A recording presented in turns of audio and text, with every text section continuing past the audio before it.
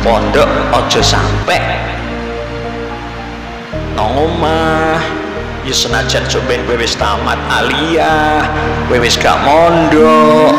Terus omah prilakune gitu ora karu-karuan. Lho ki aja sampai terjadi gitu kita iki nyekeli hukum cah pondok iki nyekeli hukum nyekeli dasar dengan coba nek upamane bocah sing gak tau mondok sekolah enak sekolah umum sekolah nong SMA nong SMK ora tahu nyekel agomo terus mereka tuh berbuat onar.